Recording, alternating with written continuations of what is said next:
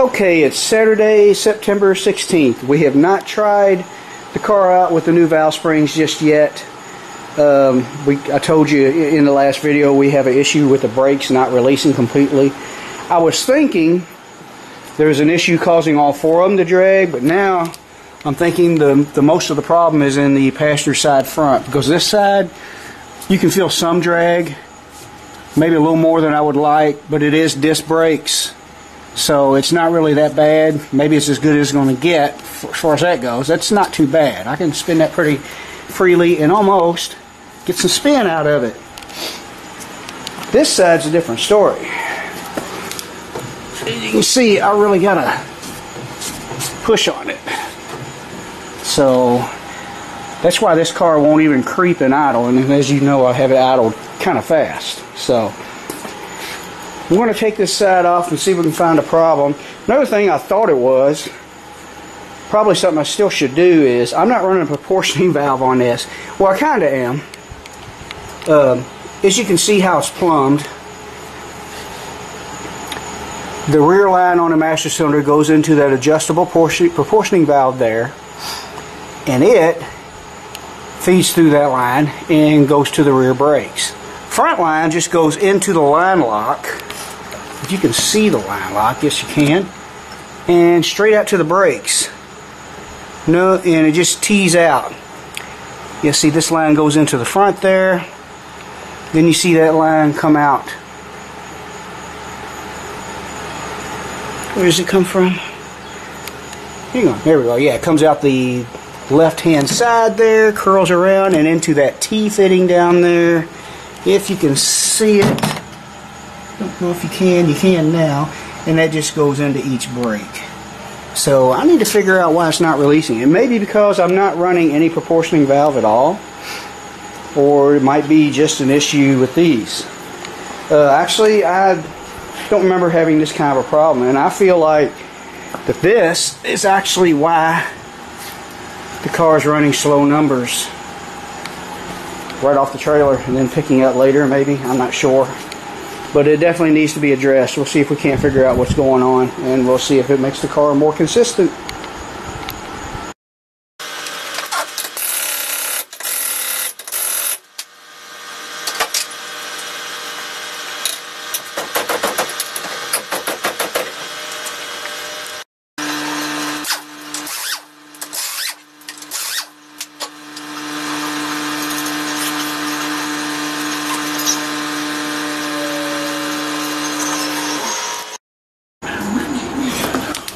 Okay, we've unhooked the brake line, which goes in through here, and you still cannot budge it. I tried to break in loose all four bleeder screws.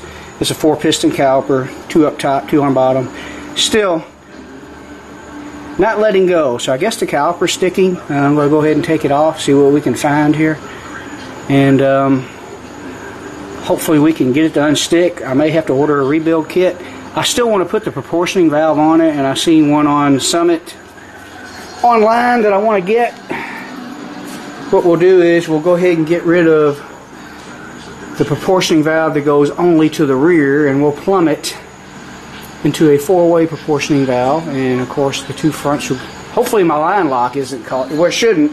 If my line lock was causing it, it would cause both of them to do it because the driver side isn't so bad.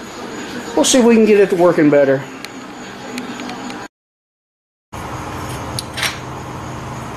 Alright, I've never had one of these type calipers apart before, so bear with me. It looks like these four screws, Allen screws, as they're called, take the both the caliper together. It's in two halves, and I guess the pistons can be pulled out.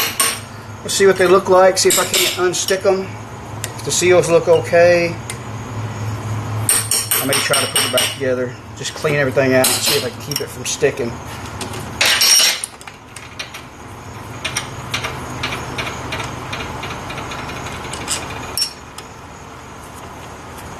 Maybe I end up ordering a new caliper. I don't really know just yet.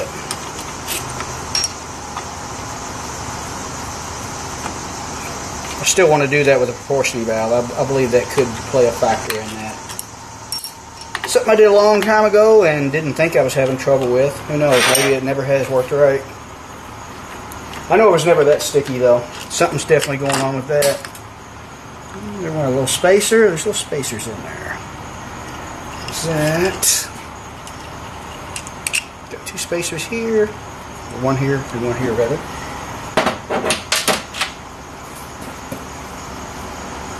Got these little washers that were under the bolts. Put them back in their place so I don't forget. Now I guess, I'm not sure if I can pull them out or not.